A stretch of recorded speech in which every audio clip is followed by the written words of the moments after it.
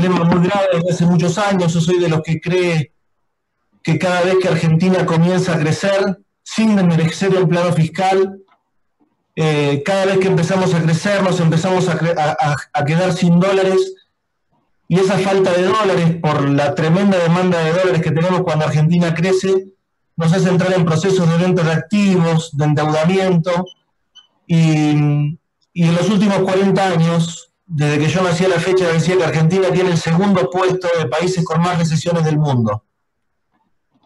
Y menos la del 78, todas las recesiones tienen que ver con la falta de dólares.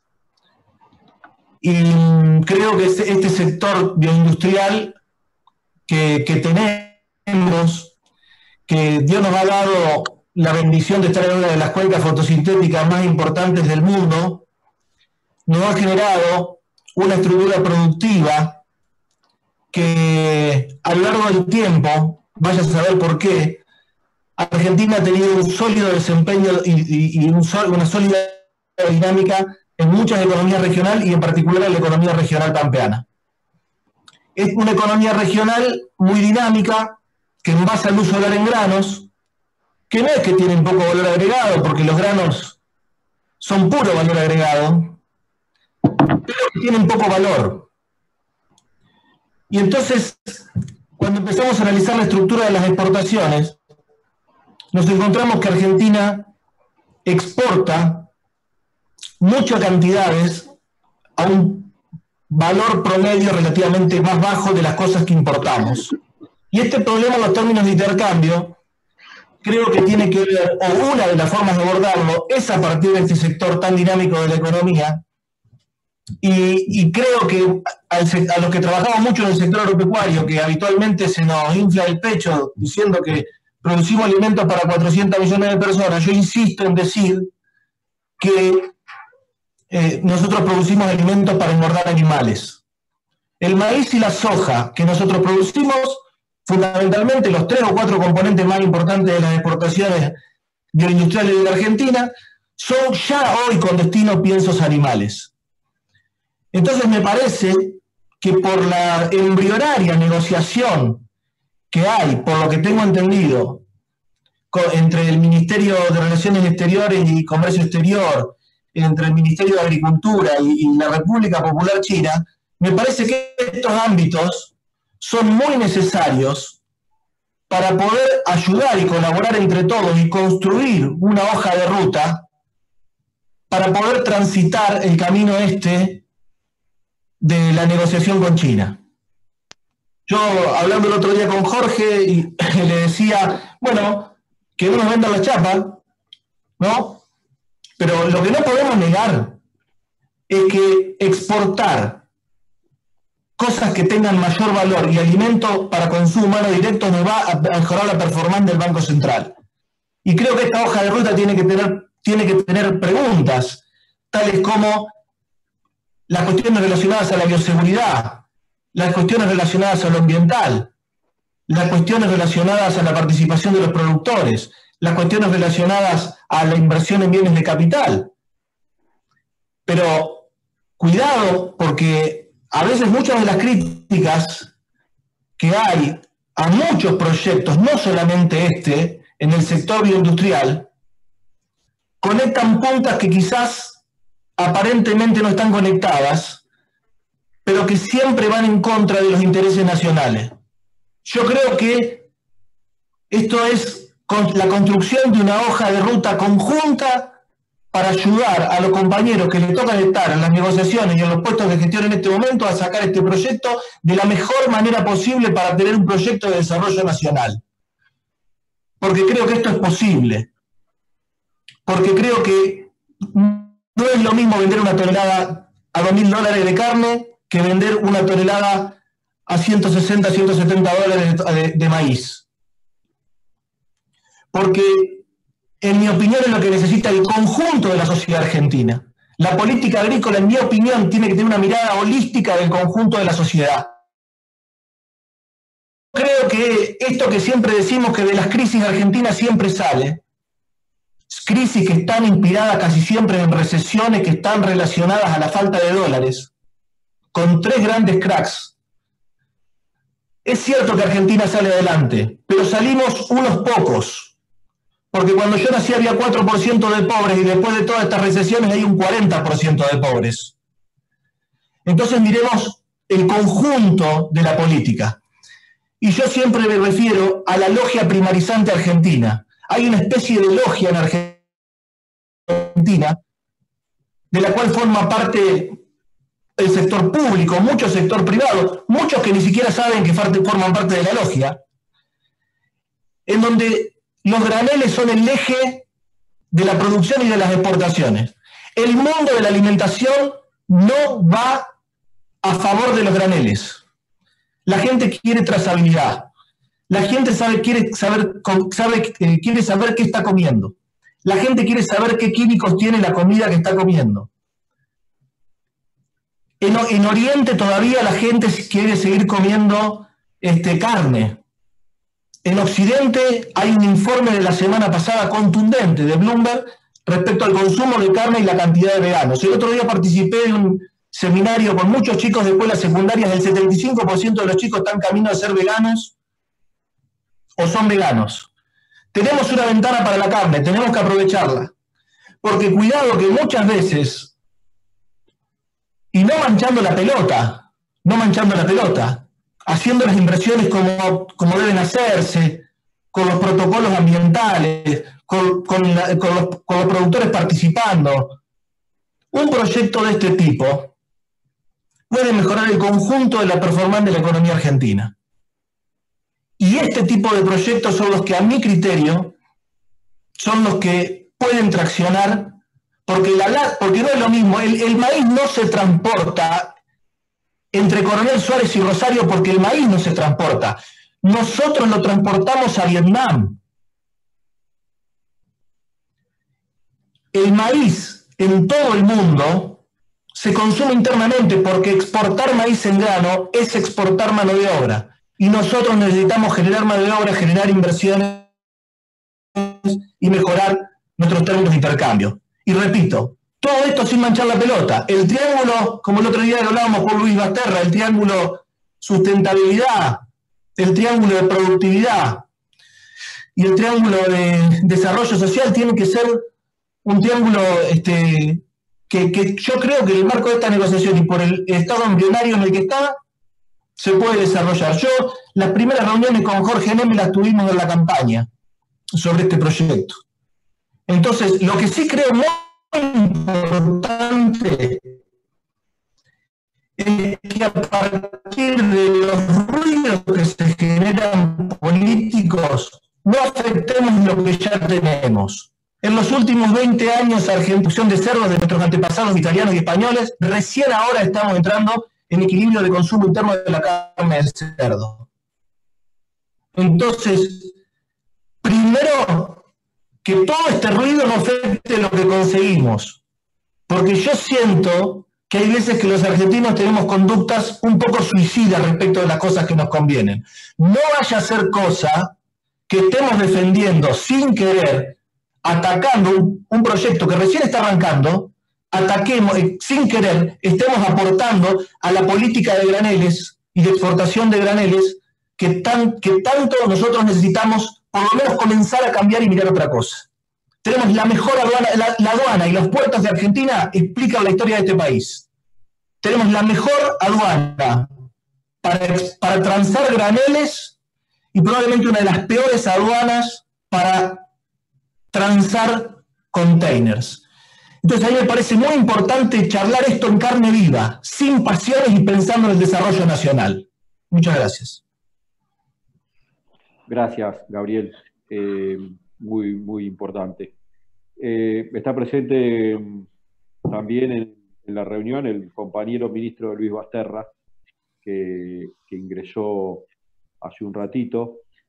Pero bueno, un abrazo Luis, un saludo grande y gracias por, por estar y participar y, darnos tu, visión en este punto con, una responsabilidad enorme eh, desde el ministerio, obviamente. Le vamos a pedir ahora, en, el marco del mismo esquema de, presentación de, 10 minutos, eh, que, tome la palabra Jorge Neme, por favor.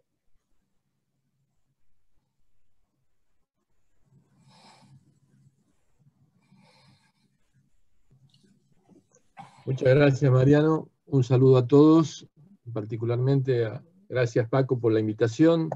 Muchas gracias, José Luis, por darle vida al Partido Justicialista. Es muy importante el intercambio de ideas abierto y franco, como lo mencionó Gabriel hace unos momentos, para pensar el país y pensar el futuro.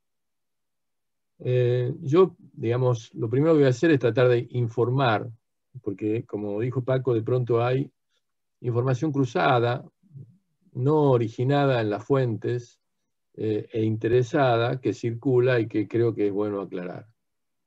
Estos antecedentes tienen que ver con, digamos, conversaciones que se vienen observando, se vienen teniendo desde hace, como dijo Gabriel, más de un año en el análisis de la situación internacional de los alimentos.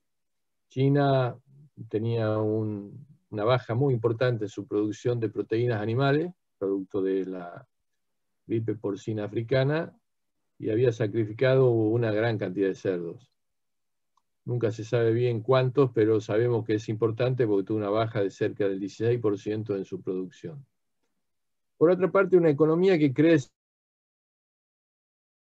de entre el 7 y el 10% anual en algunos años y ahora bajó al 6, salvo este año que va a tener un crecimiento del 1,2%, tiene un proceso migratorio del campo a la ciudad.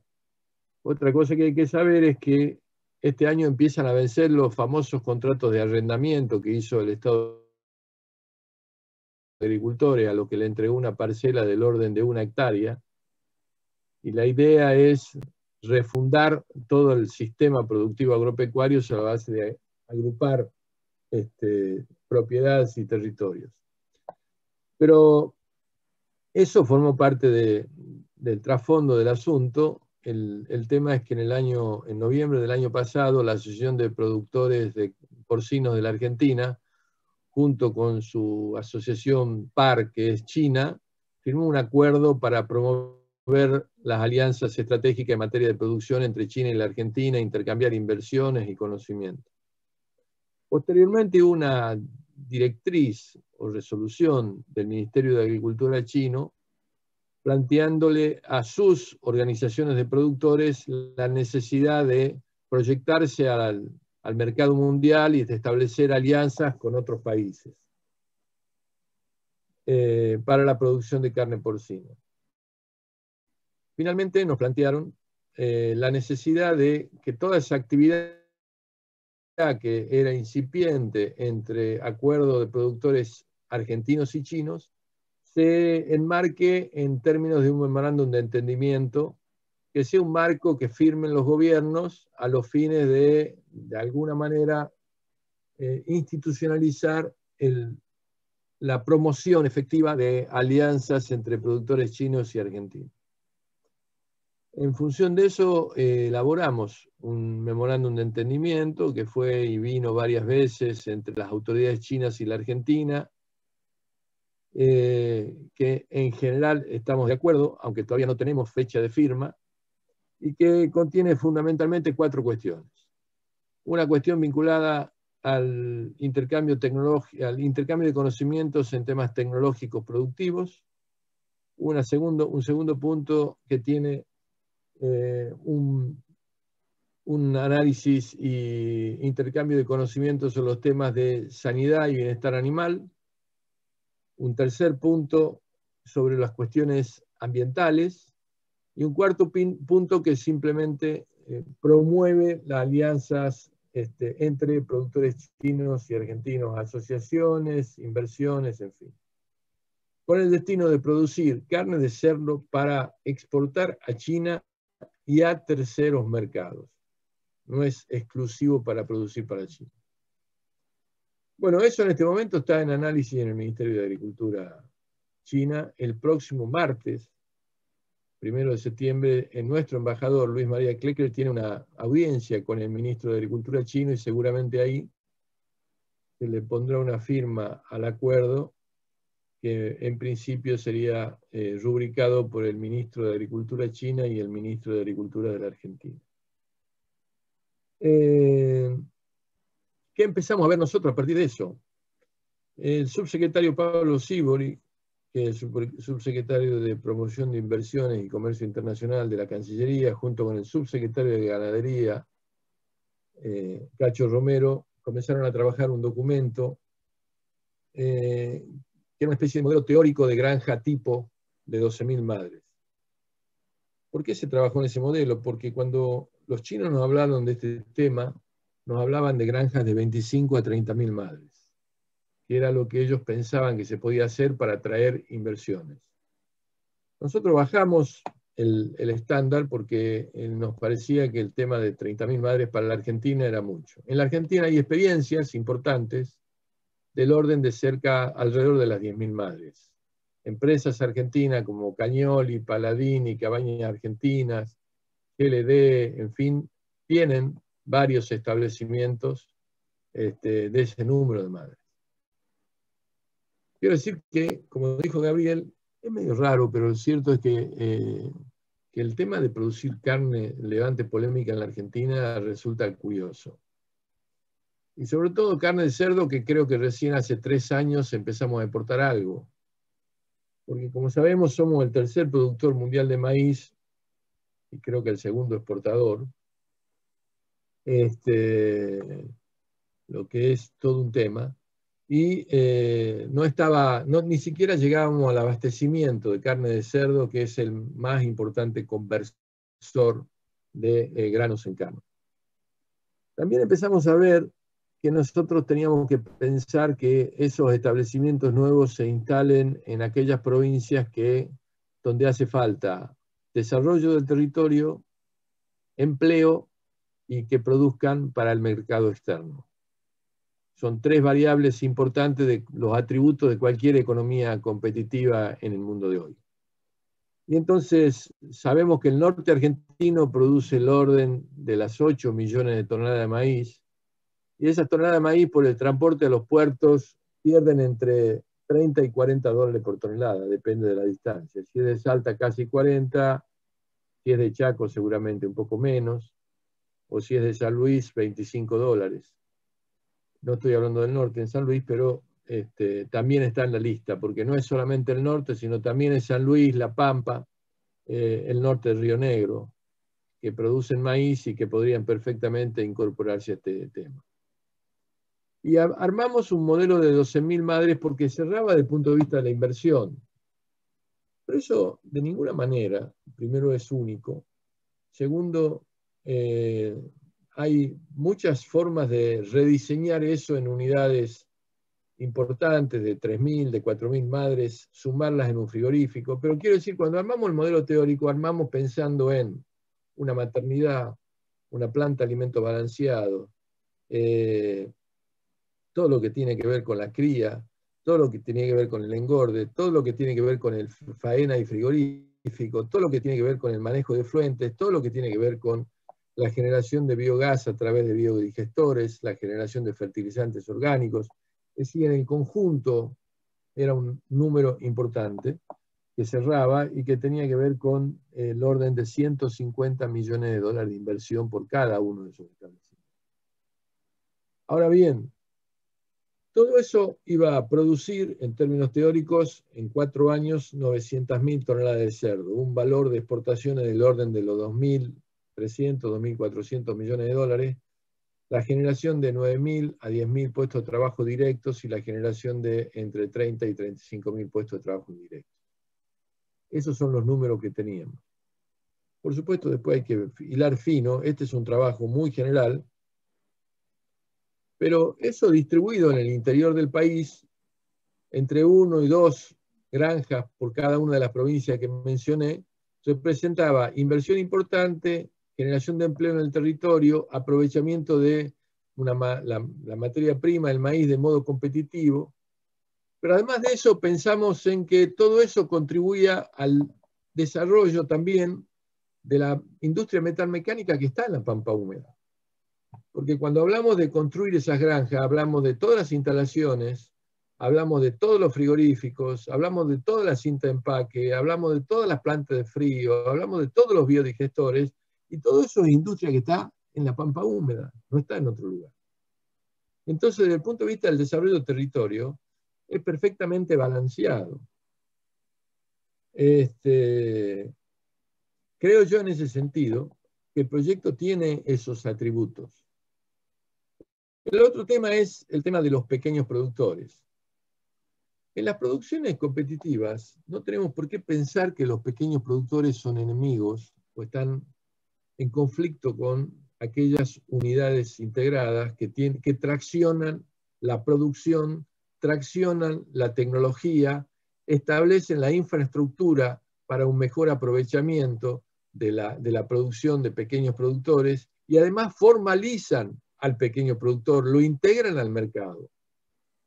Hay cosas que no van a hacer los chinos por nosotros.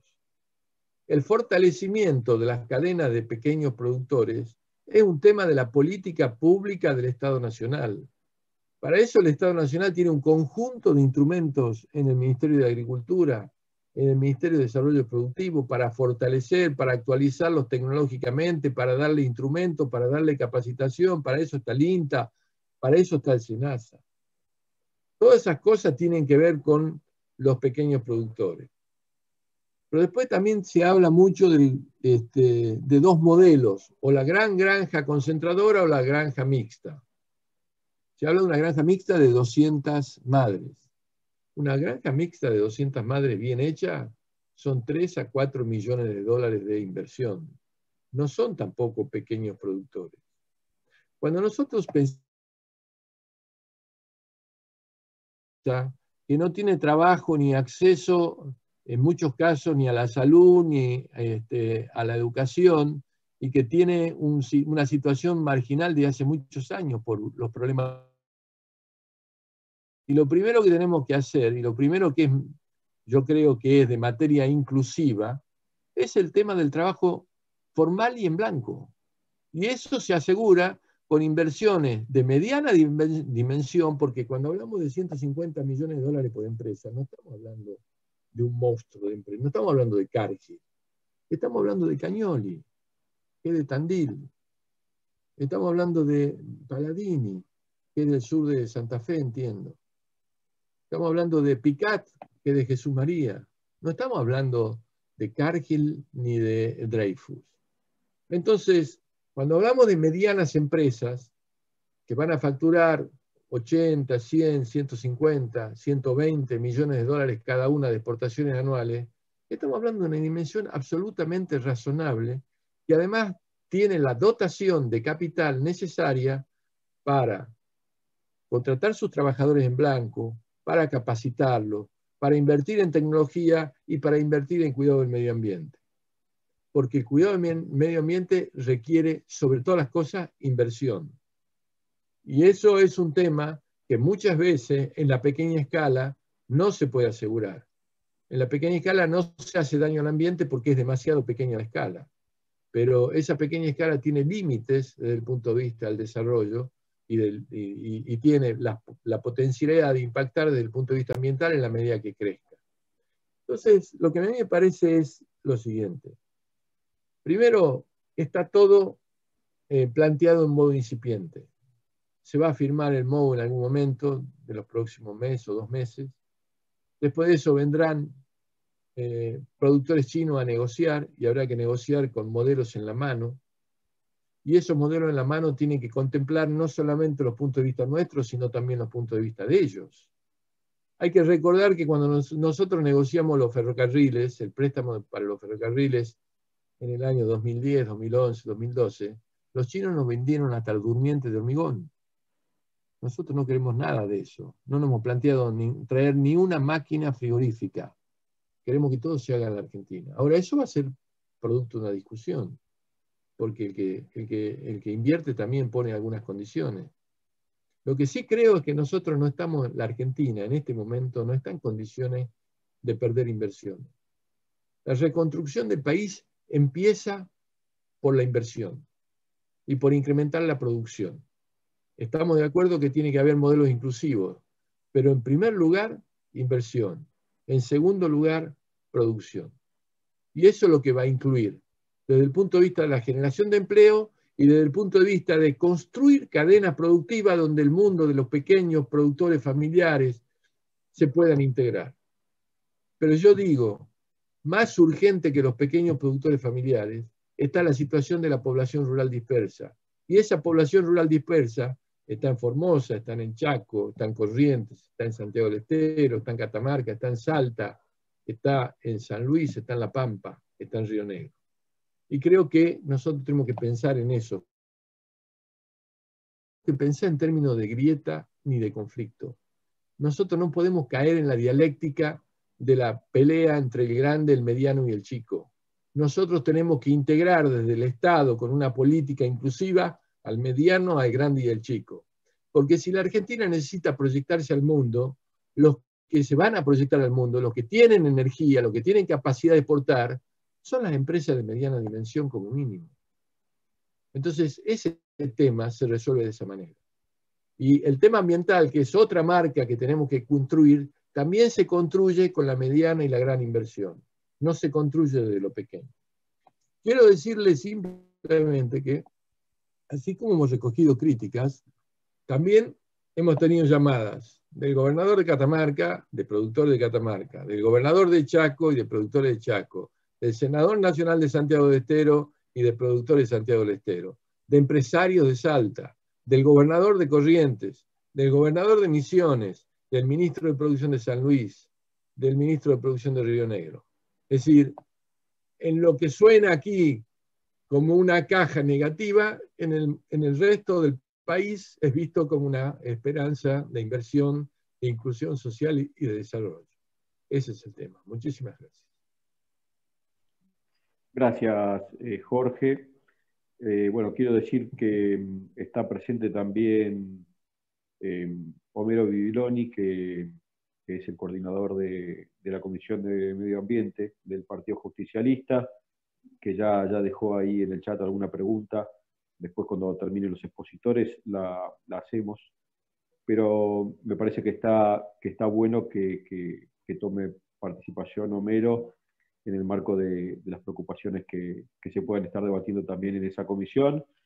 Así que mm, ahora le voy a dar la palabra a mm, compañero ministro Luis Basterra. Eh, así después eh, le pedimos al canciller, a Felipe Solá, que, cierre y empezamos con, mi ciclo de preguntas. Bueno, gracias Mariano, gracias Flaco, José Luis Gioja, por habilitarnos con, esta eh, característica de apertura eh, al debate amplio dentro de nuestro, dentro de nuestro espacio político. Eh, quiero reconocer en el Flaco el, el compromiso que ha tenido con la unidad del peronismo desde el momento mismo en que eh, estuvo en la Cámara de Diputados el 10 de diciembre del 2015, que fuimos capaces de sostener eh, contra viento y marea el sentido de la unidad. Lo que dijo hoy el flaco eh, no es nada más que una expresión abstracta, sino que lo ha demostrado con su compromiso permanente. Nos ha tocado defender la sede del partido en su momento, cuando fue intervenido, y sin duda que el resultado entre el presidente del partido, el compañero José Luis Gioja, y el presidente del Congreso, mi compañero y compañero de todos los compañeros, compañero Gildo Infran, han permitido que hoy estemos a cargo del gobierno nacional con toda, con toda esta adversidad que la verdad que hubiera sido de una complejidad tremenda para la nación argentina tener que soportar otro periodo de Mauricio Macri en, un escenario como el que estamos viviendo. Eh, saludo al resto de los compañeros, eh, a Felipe, a Jorge, a Gabriel, que son los que van, han hecho sus exposiciones, obviamente a Paco y a Mariano, esos dos mellizos de padre y madre distintos, este, y también a, Homero Bibiloni, con quien también me une una larga trayectoria de trabajo coordinado y conjunto.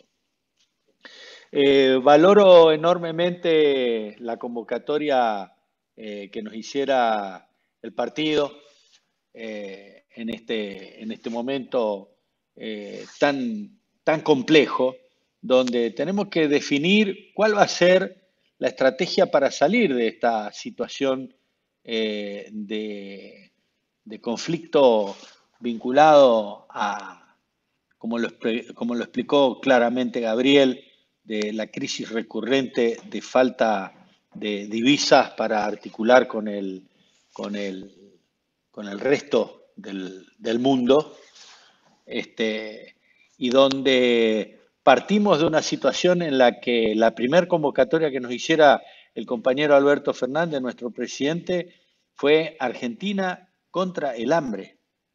Tenemos que tomar dimensión de cuál ha sido el, el, momento del cual nosotros estamos, del punto del cual nosotros estamos arrancando.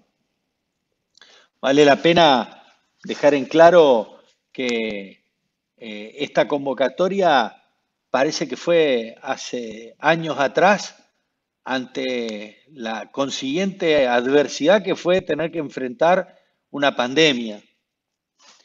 Y con el este, con la de la deuda externa eh, tomada en, unos términos absolutamente insostenibles, no sustentables, y y de manera absolutamente comprometedora de la independencia argentina. En este escenario eh, nos toca a nosotros desplegar primero una, una política que garantice la, vida y el garantizar la vida involucraba preservar los canales de aprovisionamiento eh, para la sociedad. Y además sostener las cadenas de eh, generación de divisas para poder aspirar a, una posibilidad de, progreso a nivel, a nivel de, nuestro, de nuestro país en términos económicos. Y esto se hizo con, con un compromiso absoluto entre los gremios, las patronales y el Estado. El modelo paritario que ha impuesto el peronismo posibilitó que se lleguen a los acuerdos de eh, los protocolos que hicieron que todas las actividades, preservando la vida como valor esencial, pudiesen llevarse adelante eh, con una casi normalidad. En este escenario aparece una, una oportunidad, bien lo dijo Gabriel, eh, y también lo dijo este, Jorge, donde desde hace tiempo venía eh, operándose la posibilidad de aprovechar la oportunidad en la demanda de complementada con el concepto de agregación de valor a la materia prima eh, producida en Argentina. Y surge esta, eh, esta, esta articulación entre empresarios argentinos y empresarios chinos de eh, la posible, el posible despliegue de emprendimientos mixtos, de, capitales mixtos chinos y argentinos para eh, ser proveedores de manera eficiente de proteínas animales al mercado chino. Y nosotros somos peronistas. Perón en el año 72 escribió la Carta a los Pueblos del Mundo. En el año 2004, eh, Néstor Kirchner, en oportunidad de habilitar la, la COP10, claramente definió el compromiso ambiental nosotros no podemos ir en contra de algo tan fundamental como es la sostenibilidad del ambiente, un ambiente que podamos legar a las generaciones futuras. Por lo tanto, esta discusión es muy importante que se dé en el marco de nuestro partido. Y es muy importante que cada uno haga su aporte de su punto de vista y que todos nos comprometamos a que lo que hagamos no puede, no puede ser atentatorio de la sustentabilidad ambiental. Es contrario a nuestra doctrina. Es contrario a lo que nosotros venimos haciendo a lo largo de nuestra trayectoria. Por lo tanto, para despejar cualquier consideración que tratan de ligarnos a nosotros como eh, una acción en la cual eh, la necesaria rentabilidad que tienen que tener los emprendimientos productivos este supedite, la renta, el ambiente a la rentabilidad y que eh, se puedan hacer cualquier tipo de emprendimiento a cualquier costo. Esto no va a ser así. Nosotros hemos sido y somos consecuentes con el principio de sostenibilidad ambiental. Lo dice nuestra doctrina. Lo dice el Papa. Con Laudato Si. Por lo tanto, eh, nosotros tenemos que eh, comprometernos para que lo que se haga no tenga eh, esa, esa mínima duda conceptual de que nosotros vamos a hacer una producción a cualquier costo ambiental. Nosotros, con profesionalismo de nuestros compañeros, estamos estudiando los distintos sistemas productivos. Eh, lo que dijo Jorge es absolutamente así. Se demostró que una hipótesis de sistemas productivos bajo modelos que se producen a lo largo del mundo, no en China, en el mundo, de granjas de una escala determinada, en Argentina es factible hacerla desde el punto de vista de quiénes son los actores, proveedores de las tecnologías alguien hizo una crítica justa de un documento borrador de hace cuatro meses atrás que empezó a circular ahora como que si fuera un documento oficial. Aclaro, no es un documento oficial, fue un trabajo presentado para mostrar la hipótesis del modelo de granjas de 12.000. Incluso hasta, y, nosotros cuando hicieron esa presentación, objetamos el hecho de marcas que aparecían dentro de, ese, dentro de esa presentación y nos dijeron, no, es solo al efecto de mostrar de que existen proveedores argentinos, que no es necesario importar una tecnología. Bueno, muchachos, nosotros del borrador lo hicimos desaparecer. No sé qué es lo que está circulando, pero parece ser que circula una versión absolutamente preliminar de una hipótesis que en absoluto está acordado por ninguna empresa, ni china ni argentina, pero que sí, en el fondo, termina mostrando que nuestra industria metalmecánica, que nuestros profesionales, tanto veterinarios, agrónomos y profesionales de las ciencias agropecuarias, eh, nuestros modelos empresarios, perfectamente hoy hay granjas de 10.000 madres en la Argentina. Y tampoco está descartado el estudio de granjas de menores dimensiones. Lo acaba de decir con mucha claridad Jorge Neme. Es ahí donde nosotros tenemos que ser claros en la presentación de la oportunidad y cómo la aprovechamos. ¿Descartamos algún modelo? Ningún modelo descartamos. ¿Están bajo estudio? Están bajo estudio. Ese modelo, como bien lo dijo Jorge, fue una hipótesis. Es más, yo tengo que ser franco, a mí me han llegado ideas de 40.000 madres, ni, a mí ni se me cruza por la cabeza una cosa así. Pero esta es la cuestión, esto es lo real. Es lo que en otros lugares ocurre. Ocurre en Suecia, ocurre en Alemania, ocurre en Estados Unidos, ocurre en China. ¿Y nosotros a qué aspiramos? Nosotros aspiramos a un modelo con inclusión la inclusión social y la inclusión territorial, los conceptos de equidad social y de equidad territorial. Las ideas que estamos trabajando, desplegando, relacionan la equidad territorial con el despliegue de eh, potenciales lugares para el desarrollo de la producción porcina en lugares que tienen una oportunidad para promover su desarrollo. No es para esquivar la cuestión ambiental, muchachos. La Argentina, nosotros somos los cultores del concepto federal, no del concepto unitario. No, hagámoslo allá lejos, total, allá no se nota. No, no. Lo que nosotros hagamos, aparte hoy ya no podés esconder nada, y nosotros no solo no queremos esconder, sino mostrar que nuestra política va a ser una política con inclusión. Que tenemos que ser muy cautos, porque no podemos hacer que nuestros sistemas de pequeños y medianos productores tengan un impacto negativo de una oportunidad como la que sea? Sin duda. Estamos trabajando para hacer un estudio comparativo de los sistemas de producción porcina en los distintos lugares del mundo, desde eh, la China hasta los mercados más exigentes que nos imponen trabas este, de tipo pararancelaria, sustentados en conceptos subjetivos que no están demostrados de que tengan impacto sobre la salud humana, que respetamos algunos y otros consideramos que son barreras estrictamente pararancelarias. Y la soberanía, nuestra, nuestra actitud soberana tiene que ir en contra de esas barreras artificiales que intentan imponernos sin tener fundamento científico.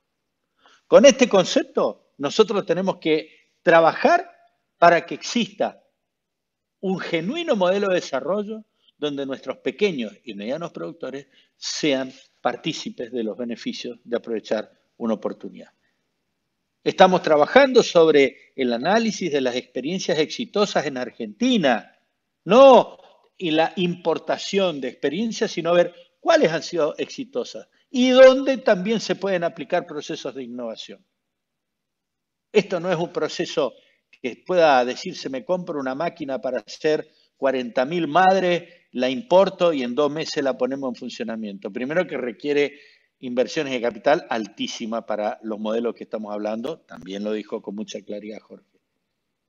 Y segundo, tenemos que ver cuál es el impacto de cada uno de estos modelos. Tenemos una oportunidad, la estamos trabajando con responsabilidad y este proceso de análisis recién se inicia. También lo dijo Gabriela. Así que de nuestra parte, eh, celebramos esta, esta convocatoria eh, y estamos a disposición para, eh, con el avance de las negociaciones y acuerdos que eventualmente se hagan, que no son compromisos de sometimiento, sino que son relaciones equitativas y, y, complementarias entre naciones soberanas. Si ya no podemos hacer eso, muchachos, dediquémonos, no sé, a, otra cosa. Eh, la Argentina tiene un destino soberano que tenemos que tener la capacidad nosotros de definir hacia dónde vamos eh, como nación. Obviamente con el concepto de equidad territorial y de equidad social como los andaríamos. Muchas gracias y a disposición, compañeros. Gracias, Luis. Eh, clarísimo.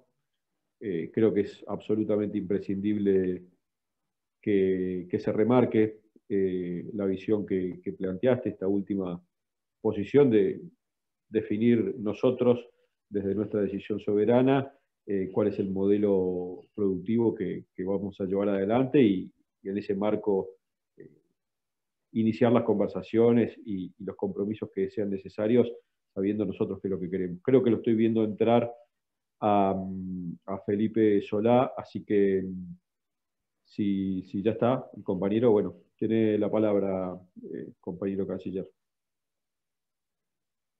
Bueno, muchas gracias a todos. Este, mi saludo al presidente de nuestro partido, a José Luis, compañero José Luis, un gusto de, si estás ahí. Este, quiero saludar también a, a Paco, que se quejó de mí de que fui lacónico diciéndole ok nada más, pero en realidad es nada más que el apuro por contestar muchas cosas, ¿no está Paco? Este, hoy le, me dijo, está todo preparado, yo después solo ok, me dijo, nada más que eso me decís. Este, le mando saludos y a mí me pasa lo mismo, te entiendo perfectamente. Este, y y obviamente al querido amigo Pinedo, este, le agradezco mucho también sus palabras iniciales y, esta posibilidad de hablar con ustedes de un tema que ha sensibilizado una parte de, la población, sobre todo una parte de cierta juventud urbana, este, muy interesada en las cuestiones ambientales y con una mirada también muy urbana respecto de cómo se produce en el sector agropecuario, con una idea de que este, casi todo lo que estamos produciendo en la gran región pampeana, incluyendo los bordes de algunas economías regionales, y a lo que se llama agronegocio debe ser cambiado. Y esa idea es menester discutirla, porque creo que se parece a decir nuestra sociedad este, es una sociedad con clases sociales y debe ser cambiada este, como si lo pudiéramos hacer en cuatro años, por ejemplo.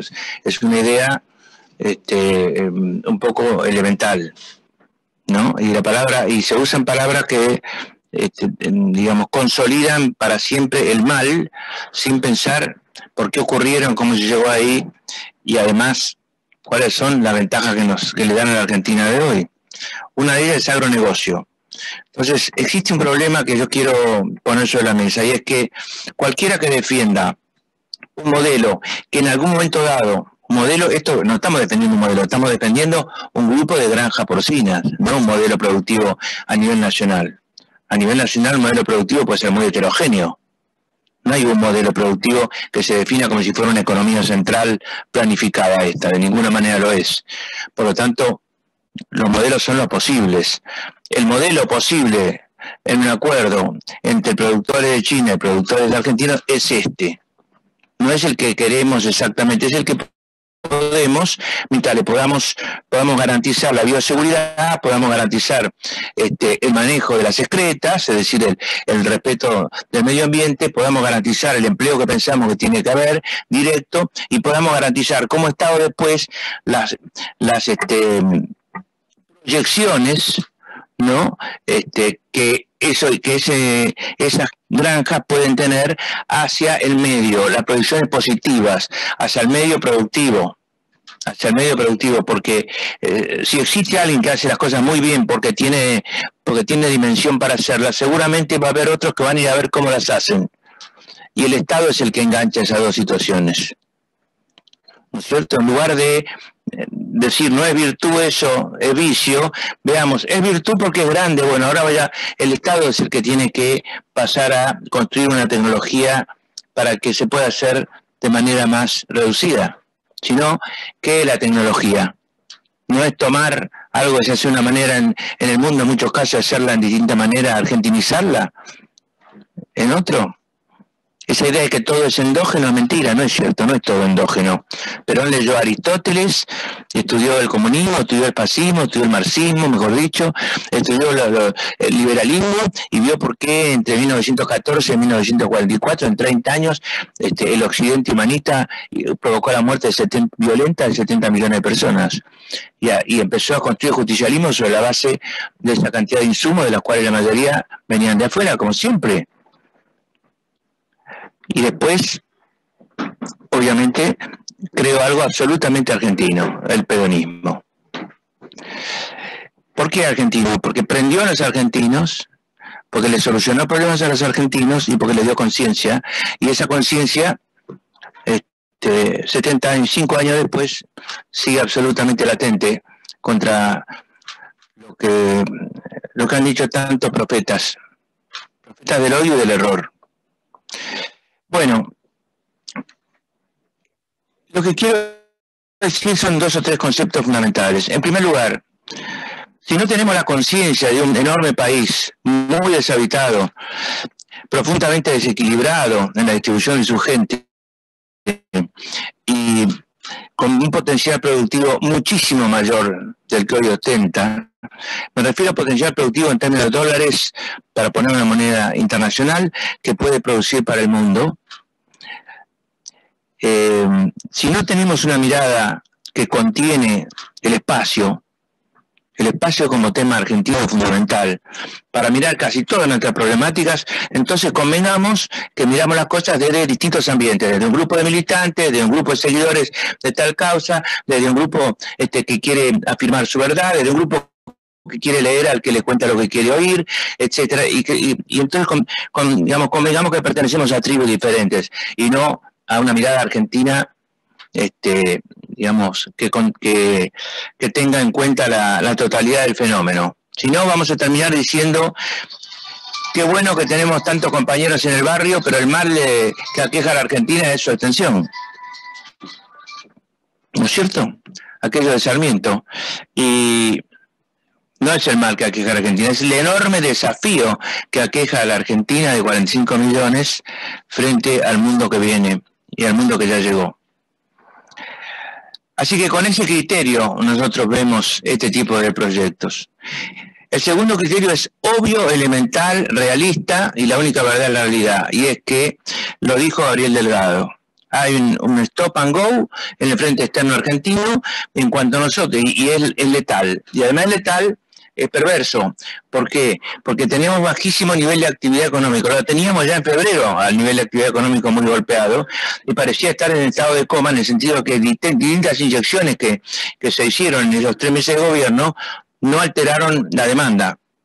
A eso le cayó encima la pandemia que como siempre tiene un efecto devastador, pero al mismo tiempo enciende algunas luces y permite algunos, algunos este, subproductos positivos porque pone en marcha también el sufrimiento y al mismo tiempo los cerebros. Eh, si nosotros no entendemos que un aumento de actividad económica absolutamente necesario en la Argentina para que vuelva la vida económica, para que vuelva la posibilidad de que no se mueran de hambre algunos, muchos, para que vuelva la posibilidad de que saquemos a los que están en indigencia de indigencia y los llevemos aunque sea a la pobreza y a muchos que están en la pobreza al trabajo formal. Y todas estas cosas que ya hemos repetido hasta el cansancio, cuando los argentinos repetimos hasta el cansancio estas cosas, los peronistas también repetimos hasta el cansancio estas cosas, nos oímos entre nosotros, pero a la mera mera, como dicen los mexicanos, cuando llega el momento de hacer algo, siempre no encaja con la doctrina o no encaja con este, eh, las ambiciones de distintos grupos que están lejos lejos de entender de qué se trata y que no les interesa mucho si se producen dólares para el Banco Central o no. Les interesa coincidir con su relato. Ahora, si Argentina tiene la actividad económica mínima a la que debe aspirar en pospandemia, Argentina va a un cuello de botella inmediato en el sector externo, es decir, le faltan dólares. En primer lugar, hay un, núcleo argentino que gasta muchísimos dólares en el interior. En segundo lugar, tenemos una buena cantidad de, dividendos, este, patentes y otros, y otros este, rubros por los cuales se le requieren dólares al Banco Central. Y en tercer lugar, es un país bimonetario, de los pocos países bimonetarios del mundo y por eso tan difícil su manejo, que hace que eh, si anualizamos las compras de 200 dólares por mes de los argentinos, llegamos a una cifra superior a los 6 mil millones de dólares. Y todo este conjunto de plantas en digamos, en, régimen, el cuarto año, producirían en teoría, según nuestras estimaciones, 2.500 millones de dólares. Los argentinos se compran 6.000 o más por año, de a 200 dólares. Imagínense si tuviéramos, no tuviéramos control de cambio, lo que pasaría, ¿no? ¿Dónde estaríamos? Ahora, entonces, miremos las cosas con, con realismo.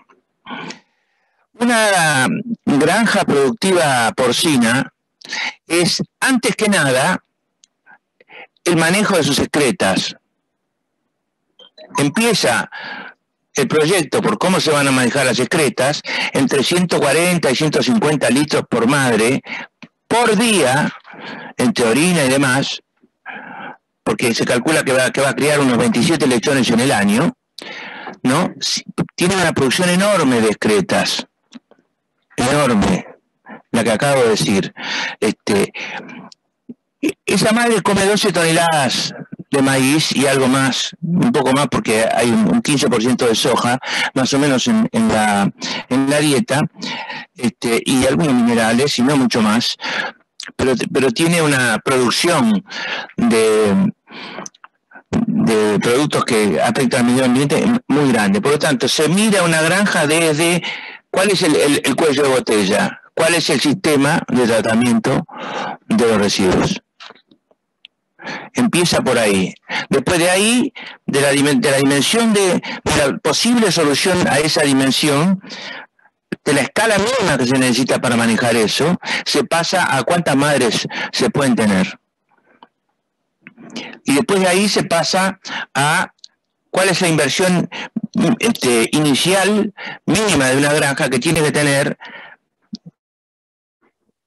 planta de alimentos balanceados, un costo de transporte lo más breve posible, lo más, cercano posible, pero de maíz, de trigo, este, y otro, de, perdón, de, soja y otros productos, y una cierta cercanía al pueblo para que este, cientos de trabajadores vayan allí todos los días. y algunos vivan por allí.